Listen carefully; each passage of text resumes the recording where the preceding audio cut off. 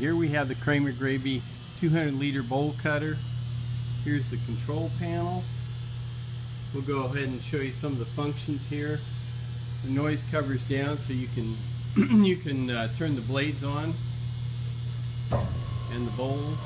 So the blade is running right now and there's the bowl. You can see it running around. Go ahead and stop that. Raise up the noise cover. Okay.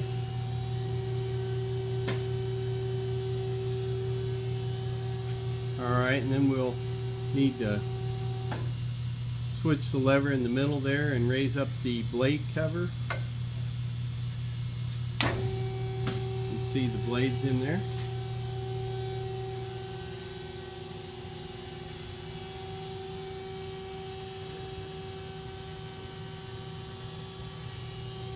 Okay, and now let's use, let's lift up the cart lift here, show you that operating.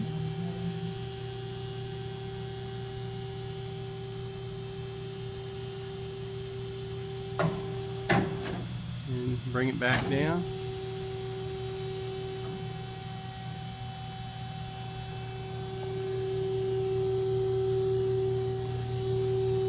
And then we've got the unloader here we can bring down. It starts when it gets down into the bowl. Okay.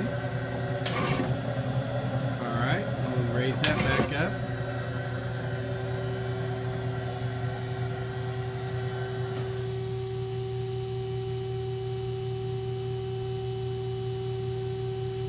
Okay, now I'll show you the rest of the machine here.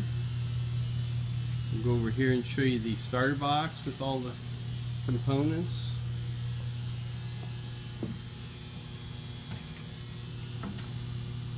There you go. And then here is the transformer that's needed. And that is it. Beautiful machine.